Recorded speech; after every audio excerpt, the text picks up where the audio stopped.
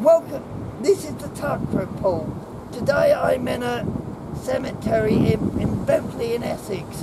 And you ever have a look, look at this? This is the cemetery where all the people who died in the big floods of Canvey Island in 1953 are buried.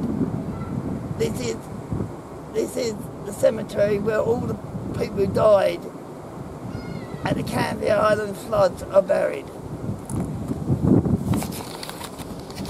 Yeah, I'm just gonna mess around. Mean you knew this was a cemetery, yeah?